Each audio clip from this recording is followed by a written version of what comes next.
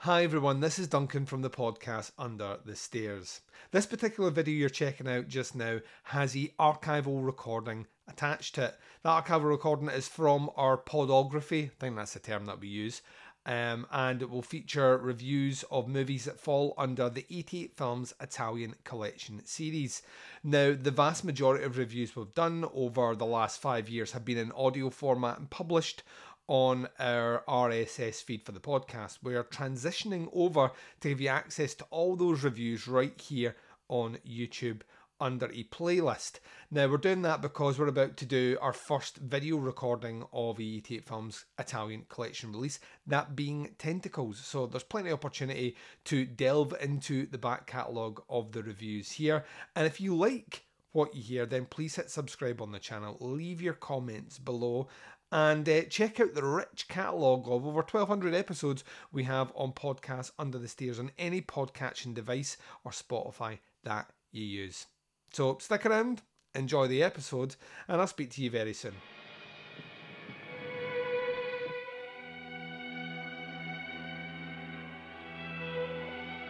The legend, Father Robertson, says that when a McGrief murders a blood relation, the latter does not die but turns into a vampire.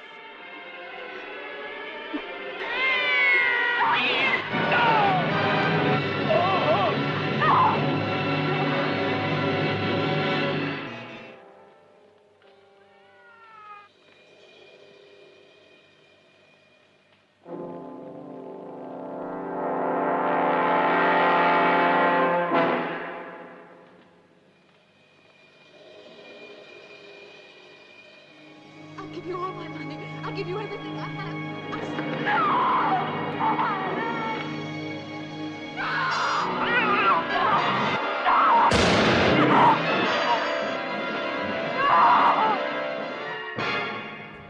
welcome back. You've just heard the trailer for disc number 19 in the 88 Films Italian Collection series. This is Seven Deaths in the Cat's Eye, um, directed by Antonio Margheriti. Um, now, now, now, now, the 88 Films uh, website has quite a bit of blurb about this one, so let's roll into this first before we start a review. Um, under the product description, the blurb for it says The McGrief, a wealthy Scottish family, are rocked by a grisly murder on their estate. There's been a murder. Um, the youngest, Corgina, uh, played by Jane Birkin from Blow Up, finds herself embroiled in an increasingly bizarre saga. As the bodies pile up, Cor- Corinja, uh, I, I pronounce it different every time, starts suspecting someone within her own family of the murders. Is it her arrogant cousin James, played by Herman Keller? Of Fellini's Satyricon.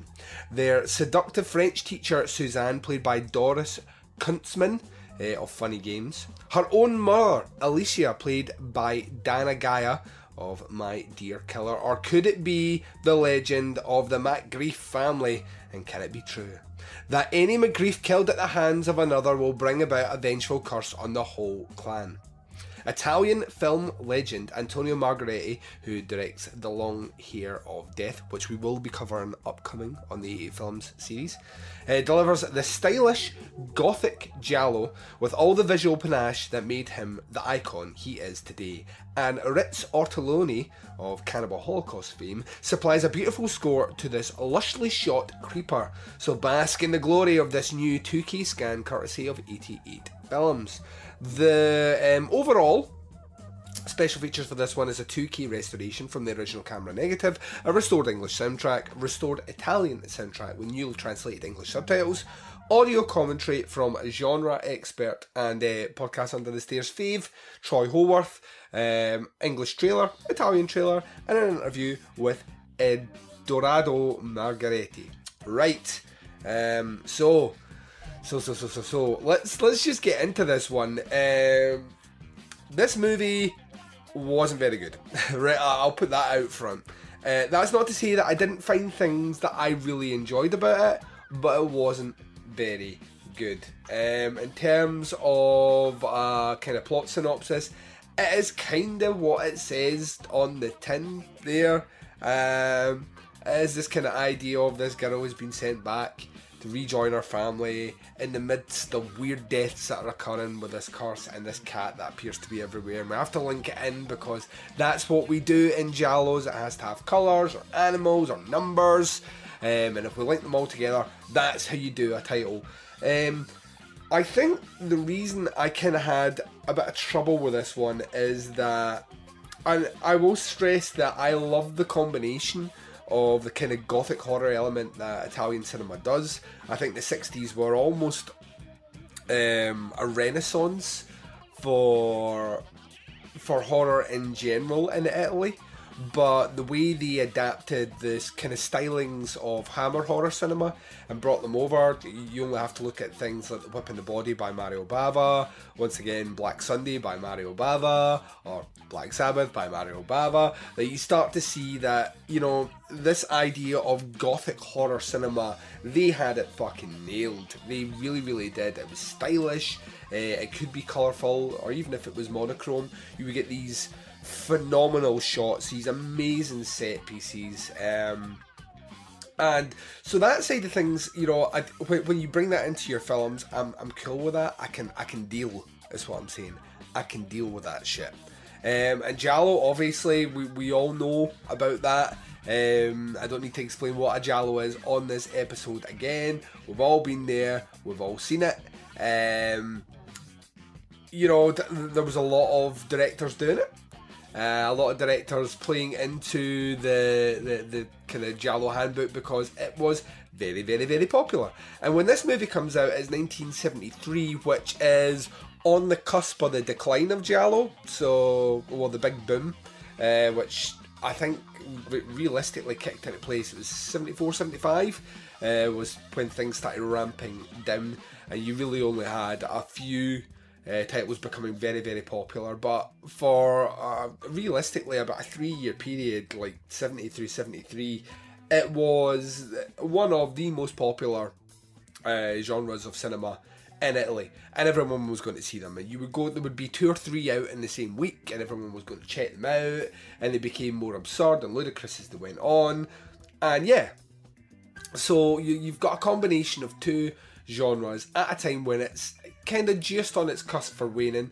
The reason it waned, like a lot of things, is that it was just done to death, wasn't it? Um, ideas became less original, uh, and not only that, you got this idea of things becoming more fantastical, the plot becoming more um, unbelievable, and the reveal of the killer that audiences just became disengaged with it. Um, it's like anything else, when you have too much of something in a short period of time, you sicken yourself of it. Uh, and that is kind of kind of where we exist with Seven Deaths in the Cat's Eye. Um, my big gripe is that I just found the movie overall not giving either side the full attention that it needs. So yeah, the gothic horror stuff is kind of done cool, but it's not done as stylish as I had seen movies do in this time period. And the Giallo bit's kind of dumb, and they're kind of trying to link it to something supernatural is wholly Scooby Doo esque. Um, so you've got that going that way. Um, that it never really carves out its own niche. And it should be because it's trying something a bit different, it's bringing in different styles together, where this one should be one that stands out remarkably. This one doesn't. Um, you, when watching this, are kind of lost in this idea of not only who the killer is, but what sort of movie you're watching. I mean, it's kind of almost shot like a Hammer horror vampire movie, and it alludes to certain aspects that of vampirism that might be in the movie. Um, the cat appears to appear quite a lot around the deaths, uh, or even me maybe being involved in some of the deaths. So, is the cat the killer? Is this Poe esque? Is this like the black cat? Is that where we're going with it?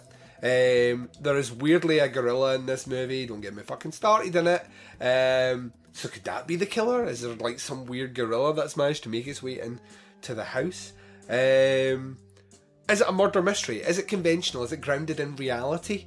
Um, is our killer human after all? Are we using all these things, like I say, in a Scooby Doo fashion, so they're all red herrings?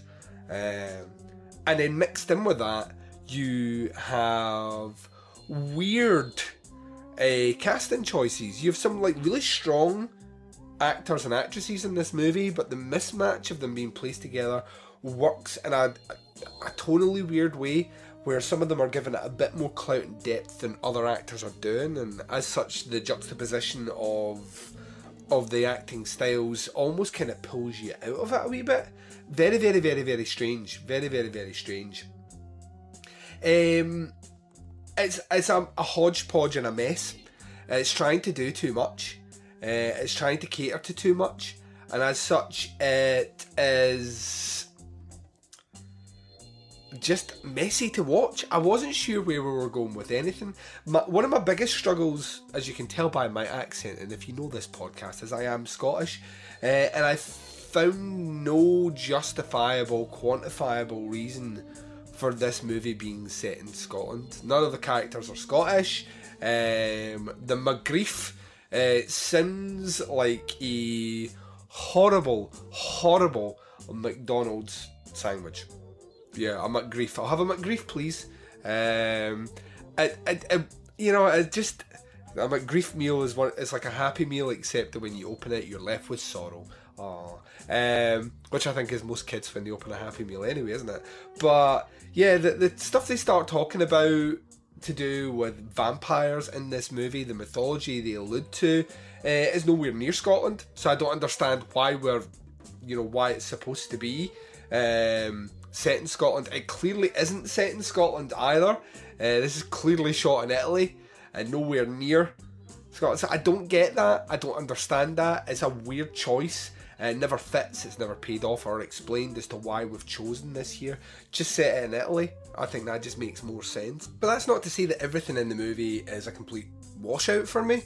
Um, whilst the kills aren't the greatest kills I've ever seen, the setup is is pretty fun the way they're shot is super stylish, um, and the cinematography in the movie at point is is jaw droppingly gorgeous.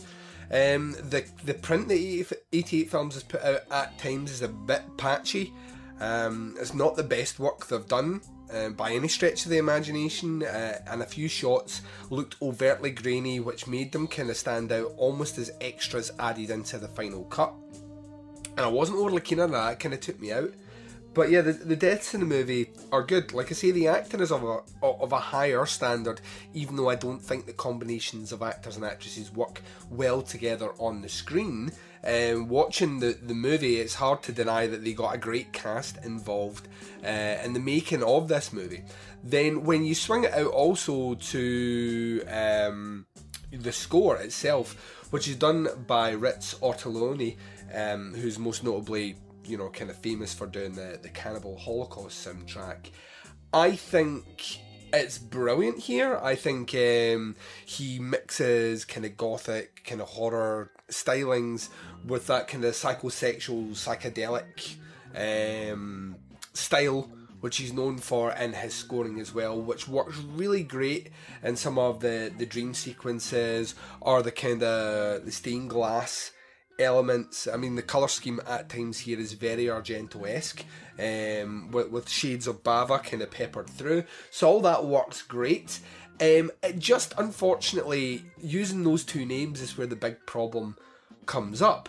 Uh, the gothic horror elements evoke Bava, but they're nowhere near as good as what Mario Bava had done in the past and would go on to do.